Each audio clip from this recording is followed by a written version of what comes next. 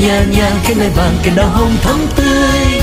Chúc cụ già được sống lâu sống thọ, cùng con cháu sang năm lại đón tết sang và kính chúc người người sẽ gặp lành tết sau đường nhiều lộc hơn tết nay. Tết đến đoàn tụ cùng ở bên bếp hồng và nồi bánh trưng.